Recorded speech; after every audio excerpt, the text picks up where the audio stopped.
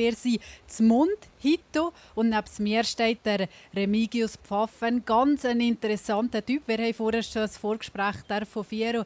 Remi Pfaffen, ganz kurz, sag, du bist hier vom Mund, ein waschechter Munder und in der Sanfran-Zunft mit dabei. Seit wann?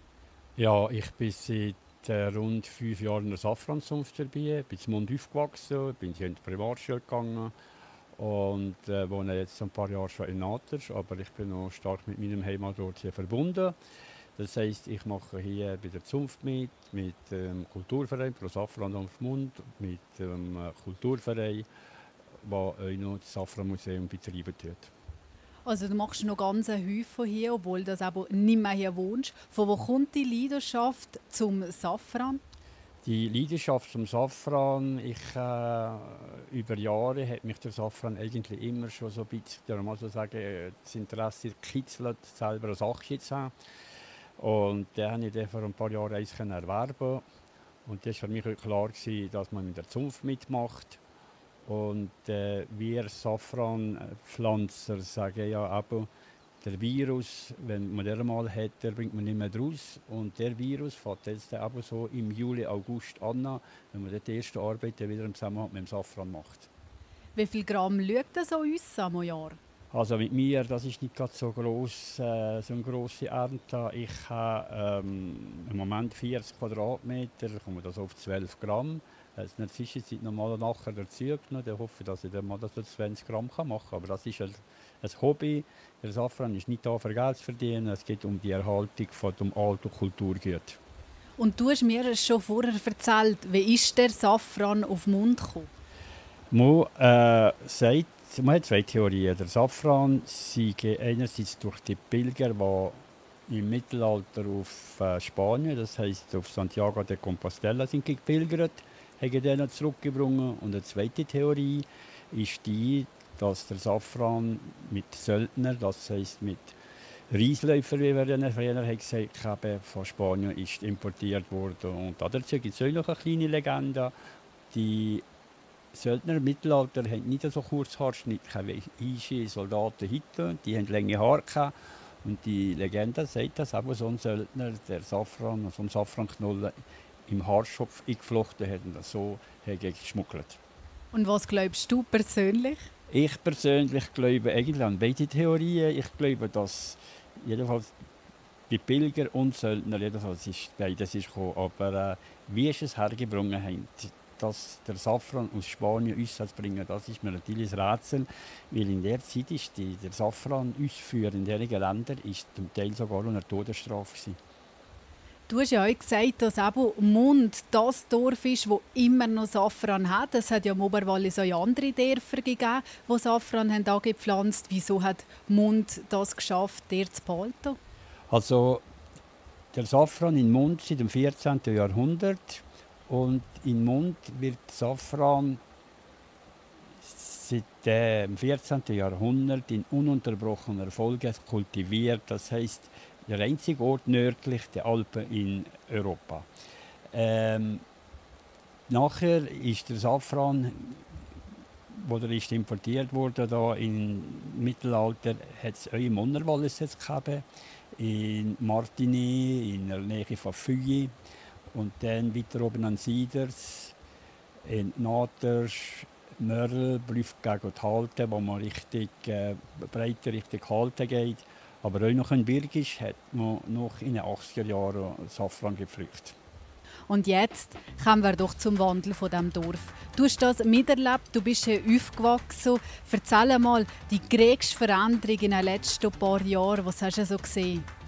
Ja, wenn ich mich zurückerinnere, ist die grosse Veränderung schon so von Mitte 60er Jahre bis Mitte 70er Jahre passiert. Ich habe das Gefühl, ich war hier in der Primarschule und äh, dass wir in der Zeit also fast vom Mittelalter katapultiert wurden, voll in die Moderne. Äh, während der Zeit, als ich noch in der Primarschule begann, war gerade die Zeit, wo man die erste Straße vom Dorf auf Strasse hat gebaut Im Dorf drin war der Zeit noch nichts gudroniert, also keine Pflastersteine, das war einfach alles noch Erde. Gewesen. Und äh, aber wie ich gesagt habe, es noch keine Wasserversorgung gehabt, vielleicht in einzelnen Häuschen, was einfach so privat etwas Wasser haben. Und wir sind, wie gesagt, haben, unsere Generation ist in der Kindheit in die Moderne katapultiert worden. Und das ist noch gar nicht so lange her. Du hast gesagt Mitte 60er. Und es ist auch noch gar nicht so lange her, wo das erste Auto hier zum Mund obst ist. Du hast vorher gesagt, du kannst dich noch genau an den Moment erinnern. Ja, das ist, wenn ich mich richtig erinnere, ist das dann gewesen, wo wir die Straße die Rosse gebaut Das müsste dann sein, 64, 65, was einer von der Rosse, der Famataroski, übrigens lebt er jetzt noch, der ist 92-Jährige, ist der Erste der das Auto ins Dorf hat gebracht und das war ein VW Käfer. Und der VW Käfer, der hat jeden Fall jeder kennt im Dorf. Und der Mann, lebt er noch? Der Mann lebt noch, der lebt oben an der Rose und ist 92-jährig. Ja. Der hat das Auto seinerzeit über den Altweg von Natersch auf Birgisch, über das Munki bis hier ins Dorf Munki gebracht. Und hier vom Dorfweg hat er dann nachher eine Straße, die er fahren konnte. Du hast euch erzählt, früher hat es ja in dem Sinne aber noch kein ÖV gegeben. Du bist immer mit der Bahn drin. Damals hat es noch ein Bähnchen gegeben. Wie war das so, gewesen, wenn du immer in die Schule bist gegangen? Also ich bin dann nachher zu Brig ins Kollegium gegangen. Dann sind wir mit dem Bändchen auf Gamso.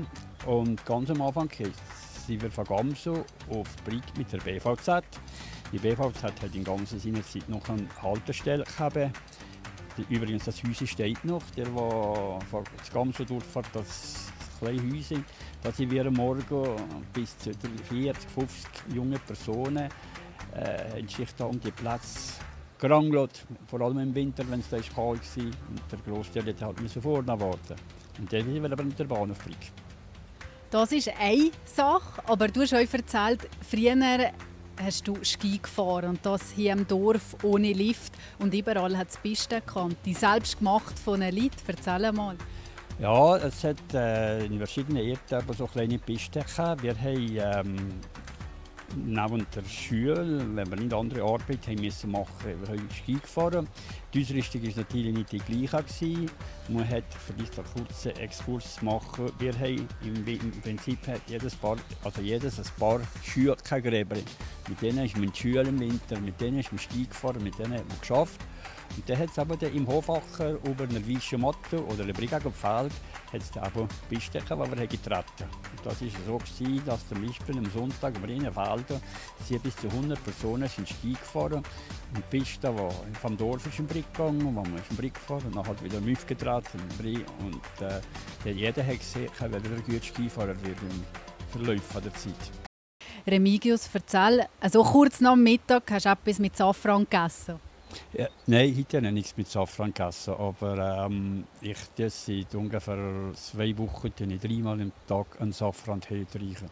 Das verleidet er nicht? Nein, das verleidet nicht. Der Safran kann in verschiedene Teesorten dritten, vom Schwarztee über Kamillentee, über äh, alle möglichen Dinge. Ja.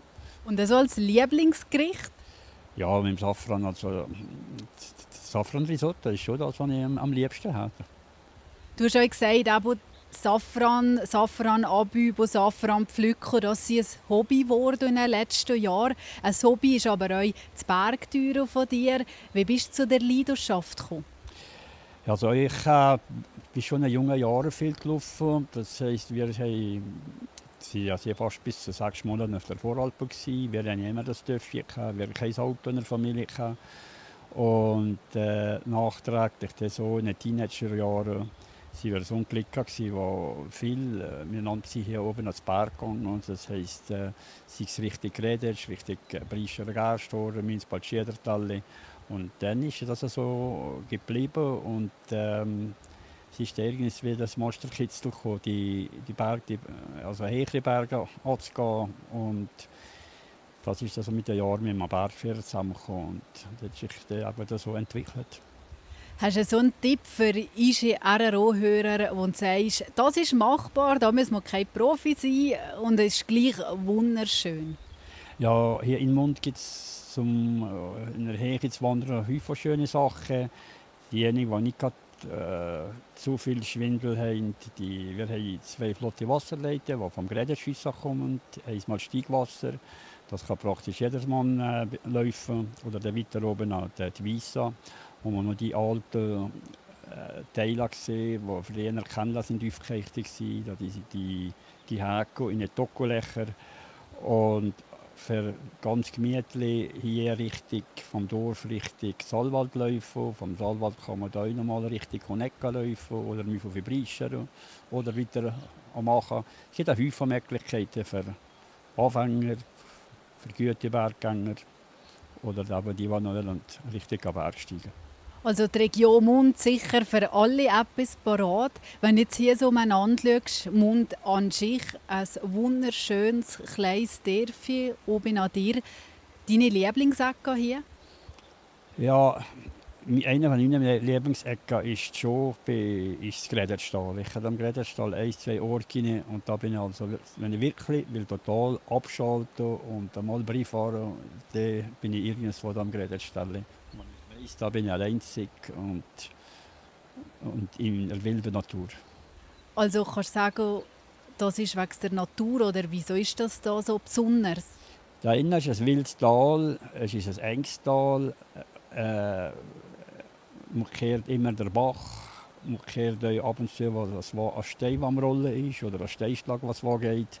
Und äh, das ist das, was mich eben am Brei bringt. Merci vielmals, Remy, für das Fluggespräch zwischen den einen bis zu einer halben zwei. Mit mir war der Remigius Pfaffen zum Kaffee. Merci vielmals, Remy, und noch einen schönen Tag.